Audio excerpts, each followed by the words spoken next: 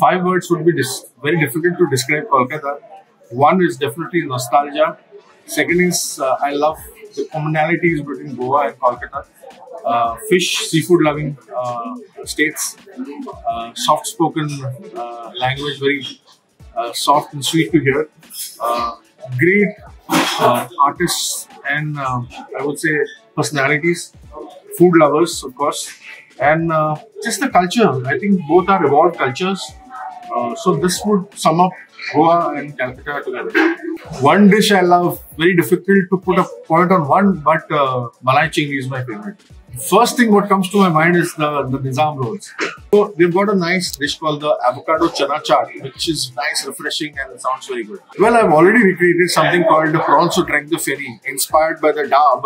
So I cooked my prawns in the 10 minute water. I add the malai to the curry and we make a nice Goan curry. But the soul is Goa, but the presentation is a nice uh, involved with Bengal as the core uh, um, uh, core center.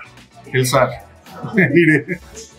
well, I still have a couple of names uh, in the cloud.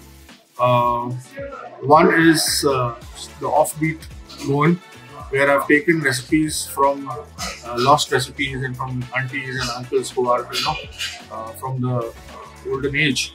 Uh, but remarrying them. So I'm not zeroed down on a name as yet, but this is what I'm looking at something which is offbeat kind of.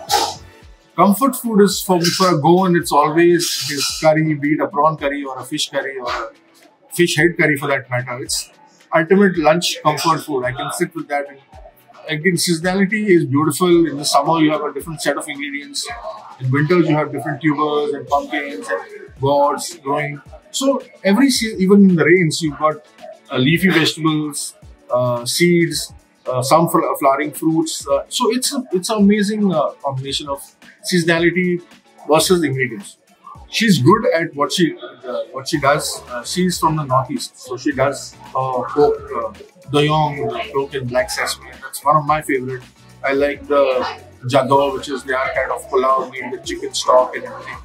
So I can't do her stuff, and she does it definitely. I mean, does it real well.